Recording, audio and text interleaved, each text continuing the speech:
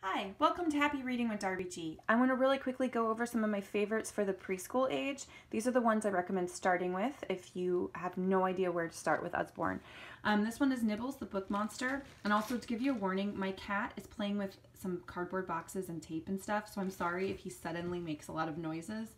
Um, anyway, so this is Nibbles, the book monster. And it's about a little monster who is stuck in a cage because he is bad. He eats everything and he eats books, okay? But he escapes. And so now you got to go through and find him and he keeps getting into books within books. And um, it's just adorable. Like, and don't be deterred by, on this website it says it's for six plus. Um, that is because the storyline has some details and then like the illustrations that just won't be appreciated until the reader is a little bit older. But I read this to the preschool class yesterday for Read Across America Week, and they were four-year-olds and three-year-olds, and they would not stay on their bottoms. They were so excited about this book. They were um, laughing and yelling. They just really got into it.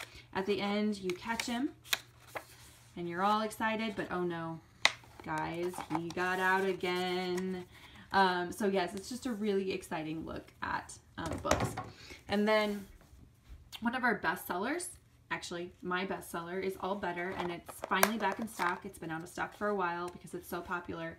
Um, so it comes with these reusable bandages and then it's the pattern. It's, oh no, dog wasn't looking where he was going. Ouch. And you watch your baby clean it, um, kiss it, mwah, put a bandage on it, all better. And every page is that same way. And they can put the little stickers on there. And then when they're done, they can match the stickers back. So it's great for fine motor skill development, interactive fun. I mean, they'll want to take this everywhere. Great birthday gift.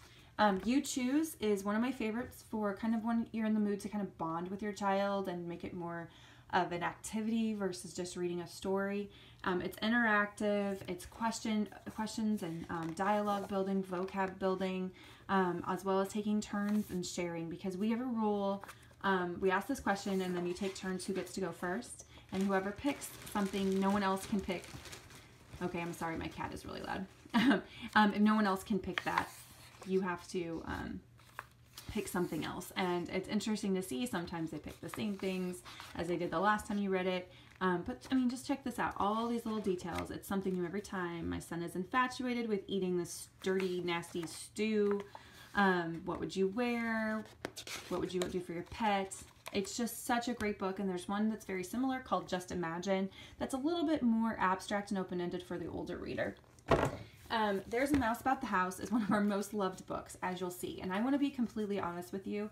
Just because a book has a little bit of wear and tear on it doesn't lose anything with the book.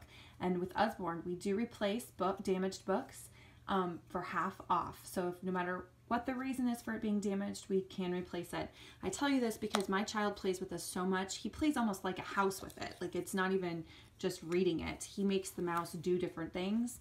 Um, and he goes through these holes so much that yes, over time, because we've had this for a while, it can get a little tear on it. It does not phase us in the least. We continue on loving this book. Um, so just know, like, when that happens, we can replace it if that's something that bothers you. I've also taken it to some book fairs, so it's just been so used. Um, but it's just such a fun way. So this mouse follows the, the path around the house, in and out of all the little slots. He's looking for food the whole time. Um, but there is a squirrel's tail. That is just the same. It's the same concept, but he's looking for nuts. And um, we we love that one just as much, but right now, as I film this, that one is out of stock, okay? So, um, but one of them is usually in stock, and then if you lose this too, you can get it replaced really easily. Um, it's just 250 or on the back, they do have like a little tin that you can make your own. So, um, I definitely get that one for people when they have need a gift for birthdays and stuff. Um, Look Inside Your Body is the book that cemented my love for Usborne. Like this is the one that said that stood out to me so much that I, and it wasn't so much when I got it as so much when I watched my child with it and like realized he was learning at the age of three and a half all of these different things. And um, this is the page that really got him. It's what what you eat and how where it goes, and he'll tell us at dinner sometimes what's happening to your food and where it is. Um, it makes sense to him. Um, it's done. It's written in a way that's easy for preschoolers to understand.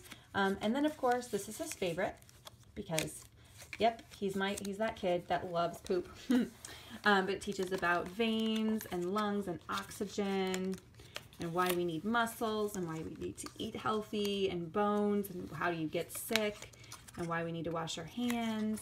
Um, it's just an amazing, amazingly interactive book for teaching the importance of body and all of our functions. Um, then lastly, is the illustrated alphabet. It comes with a slipcase, but I took it out first so I can save a little time. Um, this is a perfect book because I was looking for a book that talks about the sounds of letters and not just the letters itself. And this is it. This is it. It has alliteration. The foxes were furious as someone had forgotten to fill their feeder. Um, and then I make him tell me what what words that I say that started with a sound. Um, it's just so much fun. Great little storyline. Um, and then beautiful imagery. I mean, like this this becomes like one of our favorite stories to read, and that we don't even care that it's um, we get really engrossed in it that it'll actually take a while because he just there's so much to see. So yes, those are my favorite preschooler choices. Happy reading.